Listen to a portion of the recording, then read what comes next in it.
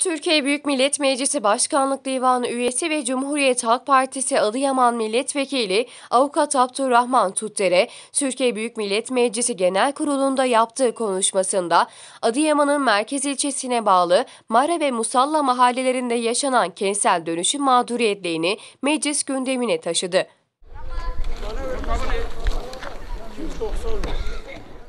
Milletvekili Tuttere, TOKİ'nin yaptıracağı evleri güncel fiyatlar üzerinden vatandaşa satmasının, vatandaşın malına ise 2017 fiyatlarına göre değer biçilmesinin haksızlık olduğunu vurguladı. Adıyaman'ımızın en kadim mahallelerinden Mara ve Musalla'da birinci etap kentsel dönüşüm çalışmaları başladı. Ancak ilgili kurumlarca vatandaşlarımızın talepleri ve taşınmazların kıymetine etki eden tüm faktörler nazara alınmadığından kentsel dönüşüm mahalle sakinleri için kabusa dönüşmüş durumdadır. Mahalle sakinlerinin bin bir emekle yaptırdıkları evleri, arsaları ve bahçeleri için teklif edilen fiyatlar güncel piyasa fiyatlarının çok altındadır.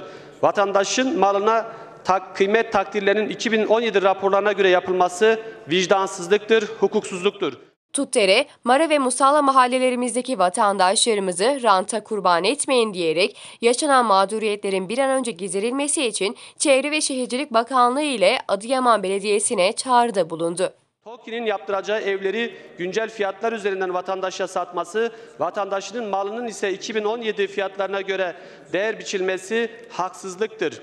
Buradan Çevre ve Şehircilik Bakanlığı ile Adıyaman Belediyesi'ne açıkça çağrıda bulunuyorum. Mara ve Musala'daki vatandaşlarımızın haklarını güncel piyasa fiyatlarına göre verin. Mara ve Musala mahalle sakinlerini ranta kurban etmeyin.